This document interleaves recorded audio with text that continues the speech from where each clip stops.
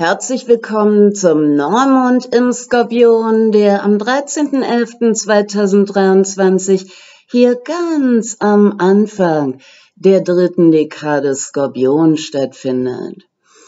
Liebe Leute, vorneweg möchte ich sagen, dass ich noch ein wenig erkältet bin und da die Mikros heutzutage so extrem empfindlich sind, kann es durchaus sein, dass ihr hier zwischendurch seltsame Geräusche hört, also dass ihr zum Beispiel meine Lunge fiepen hört oder etwas in der Art. Also wundert euch bitte nicht. Der Neumond, der jetzt am 13. November im Skorpion stattfindet, ruft hier sehr ähnliche Themen auf den Plan wie die Mondfinsternis, die am 28.10.2023 auf der Achse Stier-Skorpion stattgefunden hat. Die Mondfinsternis dürfte uns schon viele interessante Erkenntnisse geliefert haben, denn Sonnen- und Mondfinsternisse sind halt sehr starke Katalysatoren zur Bewusstwerdung. Und diese Erkenntnisse, die wir hier in den vergangenen Wochen in Hinblick auf diese Stier-Skorpionen-Themen gewonnen haben, kommen uns sehr zugute für diesen höchst dynamischen Neumond, der jetzt am 13.11. im Skorpion stattfindet. Wie die Mondfinsternis stellt uns auch der Neumond im Skorpion vor die Frage, über welche Ressourcen wir verfügen, wie wir mit unseren Ressourcen umgehen, welche Ressourcen wir mit anderen teilen und wie wir eventuell besser mit unseren Ressourcen umgehen können. Also wie wir bestimmte Ressourcen vielleicht viel besser nutzen können.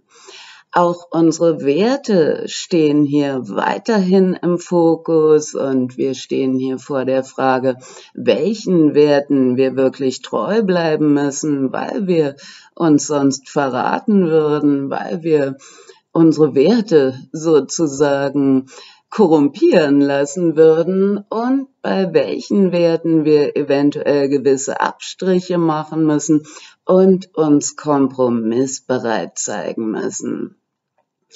Die Werte und Ressourcen, um die es auf der Achse Stier-Skorpion geht, können sowohl materieller als auch immaterieller Natur sein. Also wir können materielle Ressourcen mit anderen teilen, wie ein Auto, ein Haus, ein Grundstück, ein Stück Land.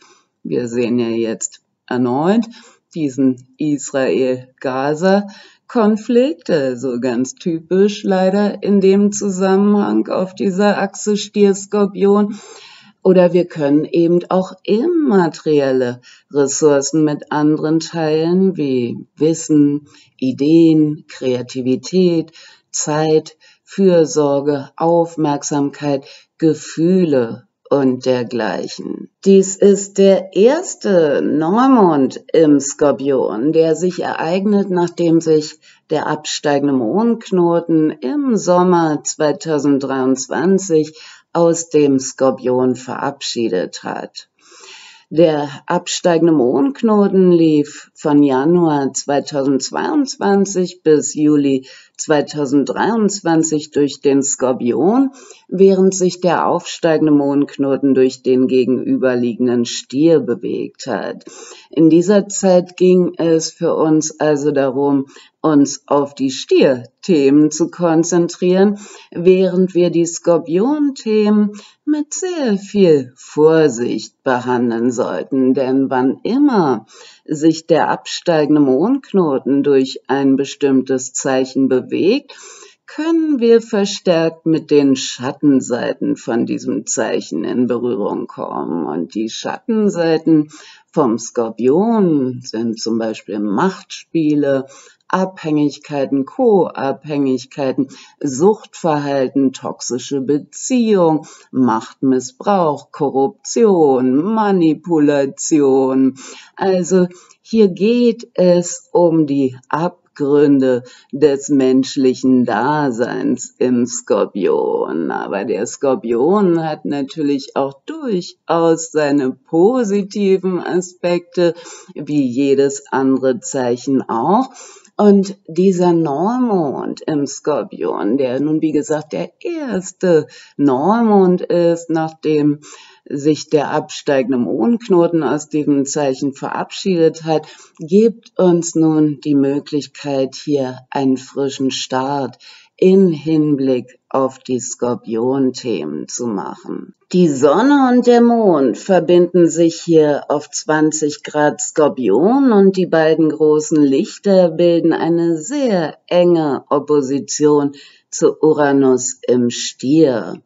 Mars, der Energie- und Handlungsplanet, befindet sich hier sehr nah bei der Sonne und dem Mond im Skorpion und so bildet auch Mars hier eine enge Opposition zu Uranus im Stier.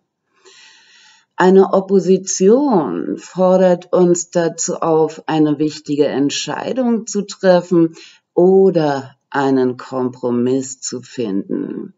Bei einer Opposition stehen sich zwei gegensätzliche Parteien hier sozusagen gegenüber und äh, wir sind hier aufgefordert, von einem Gegeneinander idealerweise zu einem Miteinander zu finden. Ja, in einigen Fällen muss man vielleicht von einer Trennung sprechen. Also in einigen Fällen können halt die Werte der beteiligten Personen einfach so unterschiedlich sein, dass man hier zu keinem Kompromiss finden kann.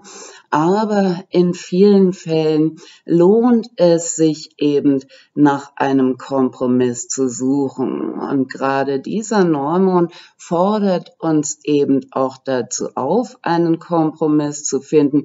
Und er unterstützt uns auch darin, einen Kompromiss zu finden. Venus, die Herrscherin vom Stier und von der Waage, befindet sich hier in einem ihrer Herrscherzeichen, nämlich in der Waage. Und Venus bildet hier ein anregendes Sextil zu Merkur im Schützen, dem Kommunikationsplaneten. Und dadurch, dass Venus hier eine so starke Position in der Waage hat, und dadurch, dass Kompromissfähigkeit ein Steckenpferd der Waage ist, unterstützt uns diese Zeitqualität eben darin, dass wir hier durch Gespräche, ähm, durch Verhandlungen zu Kompromissen finden. Ja, aber es sollte sich hier eben um einen echten Kompromiss handeln, der auch für beide Seiten befriedigend ist, der hier eben nicht einen von beiden übervorteilt oder nur eine Art Scheinharmonie herbeiführt. Bei einer Opposition geht es oft um Spannung in Beziehung, aber eben nicht immer. Manchmal kann es sich auch um Widersprüche innerhalb von uns selbst handeln, ja, also dass wir hier sozusagen zwei Herzen haben, die in unserer Brust schlagen und dass wir halt ja uneins mit uns selbst sind. Also wir könnten zum Beispiel einerseits ähm, ein starkes Bedürfnis nach Freiheit und Abenteuer haben. Und auf der anderen Seite könnten wir auch ein starkes Bedürfnis nach Nähe und Verbindlichkeit haben. Und im Idealfall haben wir es mit Menschen zu tun, die hier ähnlich gestrickt sind, also wo man dann diese Gegensätze auch harmonisch miteinander verbinden kann. Aber es kommt eben auch oft dazu, dass wenn wir innere Widersprüche haben, dass wir widersprüchliche Aspekte innerhalb von uns selbst um die Vorherrschaft kämpfen, ähm, dass einer dieser Teile dann zurückstecken muss und der, dem anderen hier der Vortritt gelassen wird. Also meinetwegen, dass wir uns dann in dem genannten Beispiel auf einen Menschen einlassen, der zwar unser Bedürfnis nach Freiheit und Experimentierfreude und Abenteuer befriedigen kann, der aber eben nicht unser Bedürfnis nach Nähe, Stabilität, Sicherheit und Zuverlässigkeit befriedigen kann. Und in dem Zusammenhang ist es natürlich wichtig, dass wir uns fragen, ob wir mit uns selbst weitestgehend im Reinen sind oder ob hier eventuell zwei gleich starke Teile innerhalb von uns selbst für Widersprüche sorgen. Denn wenn wir uns nicht darüber bewusst sind, dass hier widersprüchliche Aspekte innerhalb von uns selbst um die Vorherrschaft kämpfen, dann senden wir halt sehr widersprüchliche Signale aus, die berühmten Mixed Messages, und äh, dann kann es eben zu großen Verwirrungen und Missverständnissen in unseren Beziehungen kommen. Uranus, der große Reformer, Revoluzer und Erneuerer, läuft von 2018 bis 2026 durch den Stier, durch das Zeichen der Werte, Ressourcen und Sicherheiten. In den acht Jahren, in denen Uranus sich durch den Stier bewegt, sind unsere Wertvorstellungen hier einigen Belastungsproben ausgesetzt. Und da wir die Halbzeit von diesem achtjährigen Uranus-Transit bereits überschritten haben, dürften die meisten von uns inzwischen hier sehr markante Erfahrungen in Hinblick auf diese Stier-Skorpion-Themen gemacht haben. In den acht Jahren, in denen sich Uranus durch den Stier bewegt, finden vier Neumonde im gegenüberliegenden Polaritätszeichen Skorpion statt, die eine exakte Opposition zu Uranus im Stier bilden. Der erste Neumond, der hier eine Opposition zu Uranus im Stier gebildet hat, fand am 28.10.2019 auf 4 Grad 25 Skorpion statt. Der zweite Neumond fand am 4.11.2021 auf 12 Grad 40 Skorpion statt. Der dritte Neumond findet jetzt am 13.11.2023 auf 20 Grad 43 Skorpion statt. Und der vierte und letzte Neumond findet dann am 20.11.2025 auf 28 Grad 11 Skorpion statt. Und da wir nun schon, wie gesagt, die Halbzeit hier weit überschritten haben von diesem sehr wichtigen Transit, dürften wir jetzt rückblickend auch erkennen, wo wir hier sehr wichtige Erfahrungen gemacht haben, die uns gezeigt haben, welchen Werten wir wirklich treu bleiben müssen und wie gesagt, wie ich eingangs schon gesagt habe, bei welchen Werten wir eventuell gewisse Abstriche machen müssen und eben auch bereit sein müssen, Kompromisse zu schließen. Da es im Skorpion um gemeinsame und geteilte Ressourcen geht, sind Abhängigkeiten und Verstrickung ein großes Thema im Skorpion. Also ein Paar kann zum Beispiel eine gemeinsame Kasse haben und unter günstigen Voraussetzungen kommen beide gut damit klar, weil beide eben sehr ähnliche Vorstellungen davon haben, wie mit dem gemeinsamen Geld umzugehen ist. Aber in ungünstigen Fällen kann es eben immer wieder zu Streit kommen, weil beide sehr unterschiedliche Umgangsweisen mit Geld haben oder einer von beiden will vielleicht immer darüber bestimmen, wie man mit dem gemeinsamen Geld umgeht und der andere fügt sich dann, ist aber insgeheim genervt. Und wenn man sich in einer Situation befindet, in der man sich schon lange übervorteilt fühlt, könnte das Fass unter dem Einfluss dieser Zeitqualität nun durchaus überlaufen, ja. Von daher fragt euch bitte, habt ihr das Gefühl, dass in den Bereichen, in denen ihr eure Ressourcen mit anderen teilt, alles weitestgehend glatt läuft. Natürlich kann es immer wieder auch in der besten Beziehung zu gewissen Reibereien oder äh, Meinungsverschiedenheiten kommen.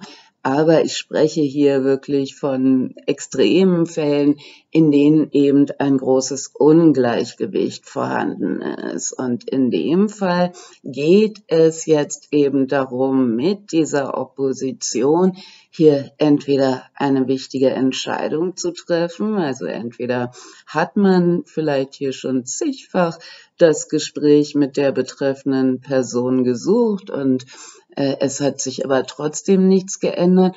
Oder aber man findet vielleicht zu einem Kompromiss jetzt, ja. Also in dem genannten Beispiel könnte sich dann ein Paar darauf einigen, dass man ab jetzt getrennte Kassen hat oder man findet vielleicht einen anderen Kompromiss, also dass beide bestimmte Gelder oder auch andere Ressourcen für sich behalten und andere Ressourcen wiederum beiden gemeinsam gehören. Also in, bei einem Paar in meinem Bekanntenkreis habe ich das jetzt in sehr positiver Form erlebt. Die beiden, sie ist Skorpion, er ist Jungfrau.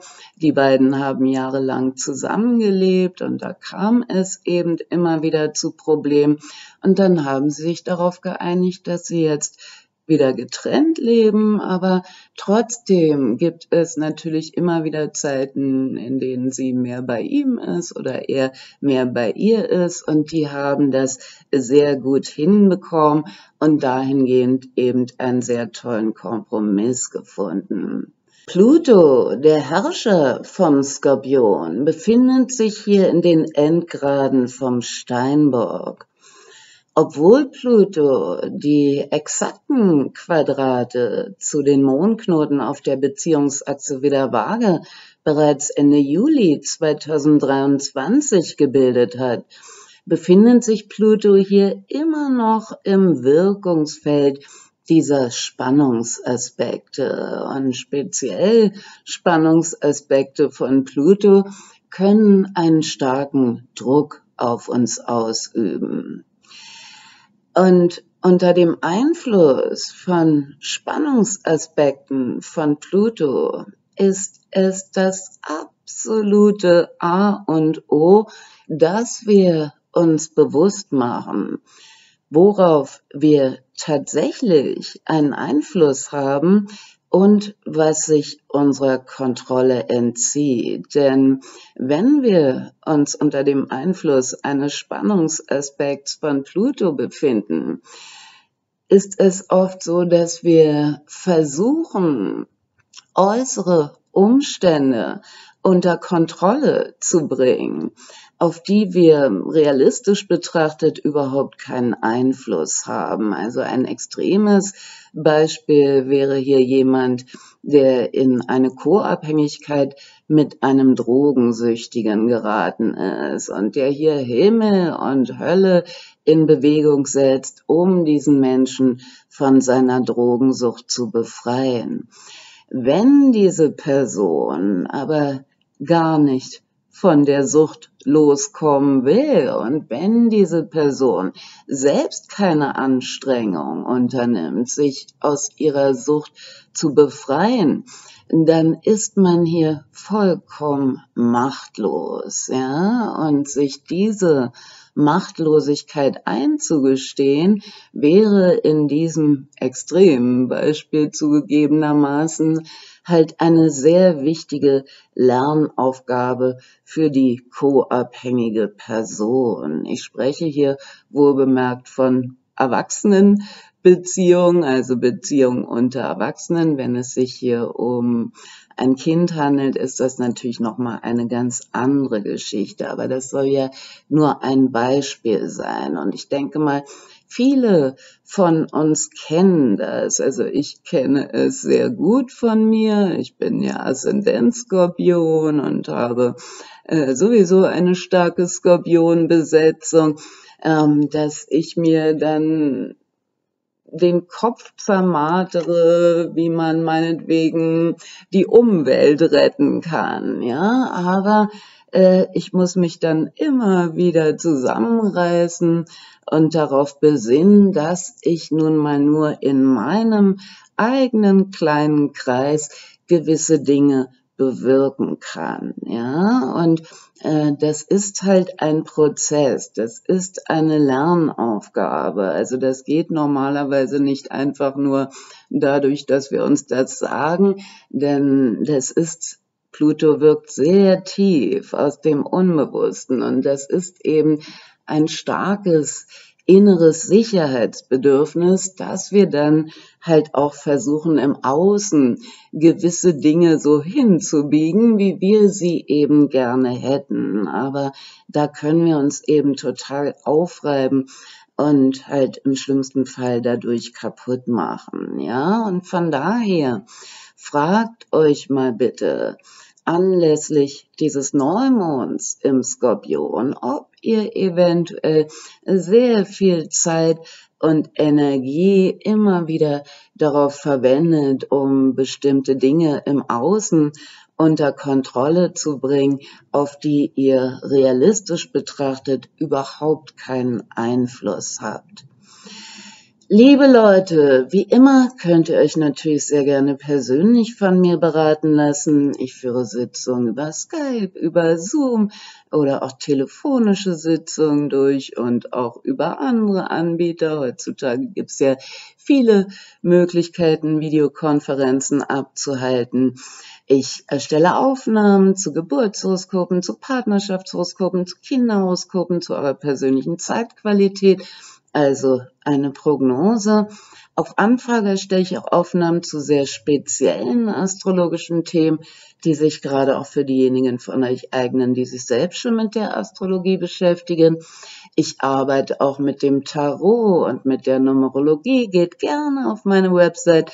Dort könnt ihr euch ausführlich über meine Arbeit informieren. Ihr könnt auch gerne auf meinem Blog vorbeischauen, auf dem ich einen ausführlichen Artikel zum Neumond im Skorpion gepostet habe. Ich werde diesen Artikel hier in der Infobox unterhalb des Videos verlinken. Diejenigen von euch, die in Zukunft automatisch benachrichtigt werden möchten, wenn ich einen neuen Artikel auf meinem Blog poste, können mir gerne ihre E-Mail-Adressen zuschicken, dann nehme ich euch in meinen Verteiler auf. Wie immer freue ich mich auf selber Spenden für meinen YouTube-Kanal und ich bedanke mich ganz herzlich bei allen von euch, die bereits gespendet haben. Bei allen bedanke ich mich fürs Zuschauen und ich wünsche uns allen einen erfolgreichen Neumond im Skorpion. Bis bald. Ciao.